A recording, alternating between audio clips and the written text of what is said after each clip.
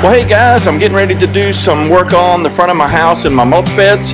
And in order to make that happen, I am going to hook up this big bad bucket that I got a while back from Express Steel.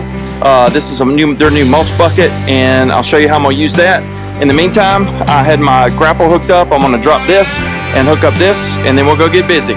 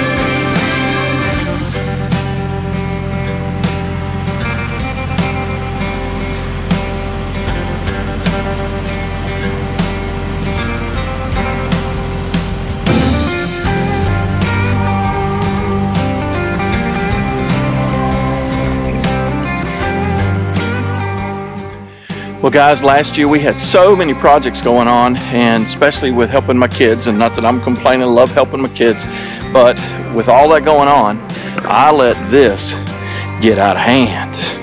Uh, this completely got neglected last year and did not keep up with weeds as well as did not remulch. This really needed to have been mulched last year. So anyway, guys, you're gonna see quite a few videos as I completely redo this. Uh, there's going to be a lot of parts and pieces to it besides trimming and, and, getting all my hedges back in nice shape, getting all the weeds out. We'll obviously be remulching, but I'm also going to add another area of river rock. Um, actually, I want to come in right in here and I'm going to run the river rock down parallel to the, the house and expand this down. Uh, so I'm looking forward to getting those little projects done. So anyway, today, uh, once again, uh, shining on the uh, what the um, Express Steel big bucket will do is this thing is going to be so nice for just raking all this stuff in.